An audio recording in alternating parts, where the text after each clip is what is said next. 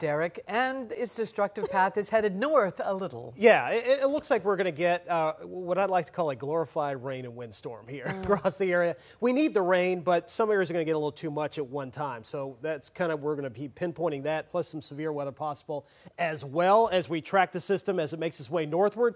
This rain is really not directly associated with it.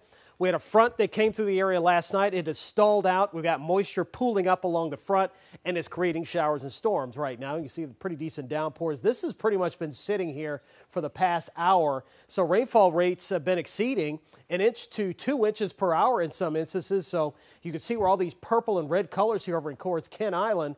Uh, that's where we're seeing some of those really, really heavy downpours, and that's where we easily could see perhaps some minor flooding in some areas. So for Thursday, periods of rain. Debby will get closer to the area by Thursday night and Friday. Looks like Thursday night, Friday morning, some of the heaviest rain across our area. A little bit stormy, too, as we track a possibility of a tornado threat east of the center. But the weekend right now is looking fabulous. So all of this is going to be moving out of the area very quickly Friday afternoon and Friday night. And then we're going to end up with a pretty nice weekend. Temp 70s and 80s right now, 90 right now in Frederick. So that's the low 90 degree on the map.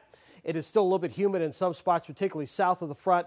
We're going to continue with chances for showers and storms here this evening. With that front hanging in the area, it's going to keep igniting rounds of showers and storms. Meanwhile, we're continuing to watch Debby, which is about to make a second landfall. It came out over the Atlantic. Now it's moving back on shore. And all these bands of rain that you see rotating on shore, this is what we're going to be dealing with Thursday into Friday.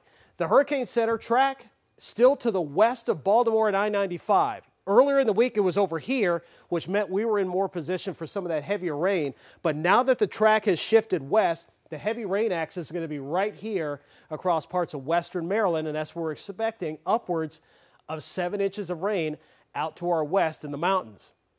We do have a coastal flood watch in effect for Anne Arundel County. That's where we're going to see tides running about two to two and a half feet. Very typical with a area of low pressure, especially tracking just off to our west with that easterly flow. And of course, there you go with the flash, with a flood watch, I should say, where flash flooding could be possible in some areas Thursday into Friday. And here's that conditional tornado threat. Conditional meaning certain things have to happen in order for the tornado threat to materialize, and one of them has to be instability. You got to have the unstable air, the fuel for the storms, and you also have to have the wind spinning in order to get the uh, storms to really get going and wrap up. And that's what we expect here Friday morning into Friday afternoon. Areas in green, I 95 eastward to the eastern shore, potential for isolated tornadoes on Friday.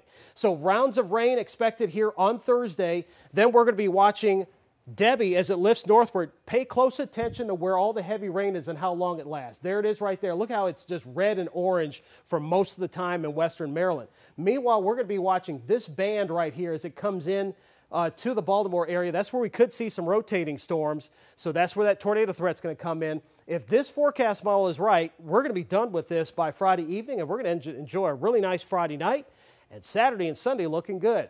Central Maryland for tomorrow, we're expecting a mostly cloudy sky, good chance for rain. Temperatures upper 70s to around 80 degrees, so not going to see uh, much sunshine here over the next couple of days, but that's going to change this weekend. Here's your first alert seven day forecast. Alert day for Friday. We'll be keeping a close eye on the flood threat and the tornado threat for Friday, but after that, several nice days in a mm. row, and we'll deserve it after what we'll see in the next couple of days. That's good coming up. Mm-hmm. All right, here's a nice